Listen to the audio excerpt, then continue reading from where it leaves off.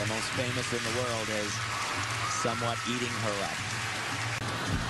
And I'll tell you, a, a performance like this in such a prestigious event, this is going to be hard to overcome.